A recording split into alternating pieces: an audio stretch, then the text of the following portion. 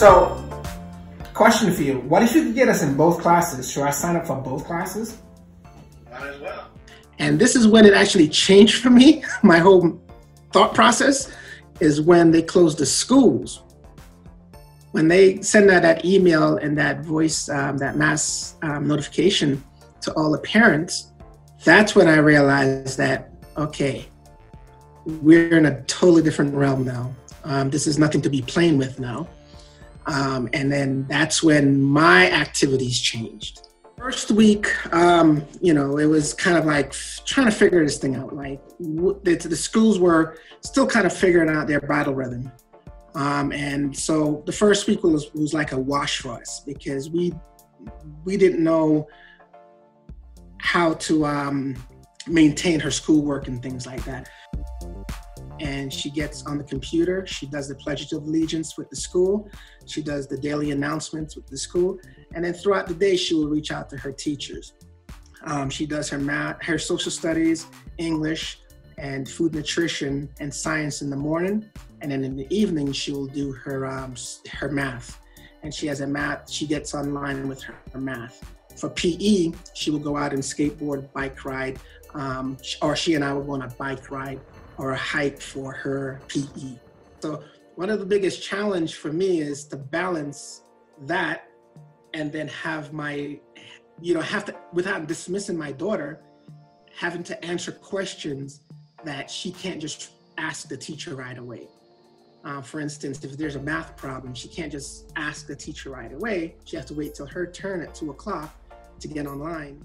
You know, when you're in the middle of something and you're over here now you got to turn around and just that's her desk right there right? At the beginning it was pretty hard but now since it's been a month well, for me yeah it's been a month um it's been pretty easy to adapt to. Some things i have a hard time in but then i just ask for help. And she's also on the swim team douglas dolphin swim, swim team. There we go. When you guys do that squat when you do that squat i want you to so the pool is closed so they came up with an ingenious activity to do where they do dry land via what we're via Zoom. Lane three, Abby Muir, Douglas Dolphins. Lane four. One of the events I swim in is the 100 free, one of my favorite events. Now, since COVID 19, we do dryland two times a week.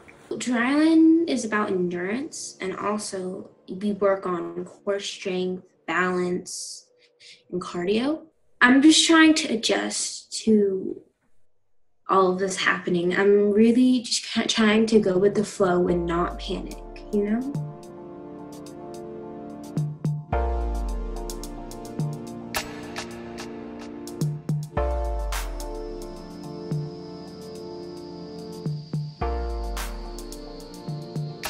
He got tested on a Friday, and I think by Tuesday he got the results saying that he was tested positive as young as we are and um, as active as we are, it was it was still an eye opener because you know I didn't expect it to. When they said mild symptoms, I figured, okay, you know, I'll I'll be a little achy for a couple days, a fever, whatever. I can deal with it. But like the headaches were sometimes unbearable, and the you know the Tylenol wasn't working every day um, we were taking it what every four yeah, hours? And every there, four hours sometimes as needed. yeah as needed. And there was times where my fever would go back up and the headaches would come and i'll take you know two tylenol and all and it's like it's having zero effect. It literally made me feel like it, there was a potential in that blank moment when he was down and out i could have actually lost my brother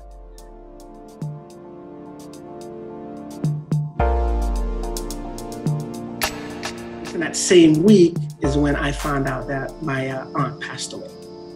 So it literally like it hit me from two angles. I, I didn't know. It's like I was fearful of what the next day would bring, especially when we started to have, um, ch- when she started to have chest pains. Her chest pains lasted for like two days. And I was really scared because I'm like, okay, what's going to happen tomorrow?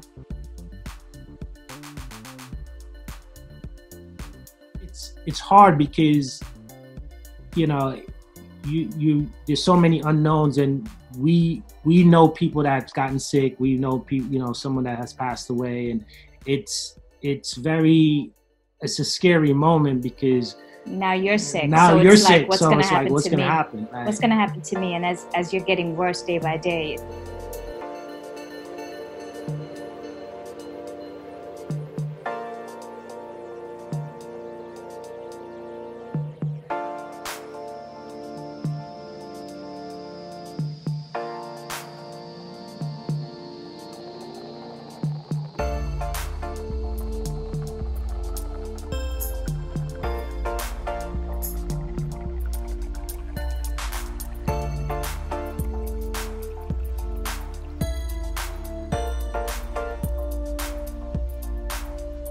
being able to be with her one on one and and learning each other you know it yeah you're right it's it's quality time And I like spending time with my dad.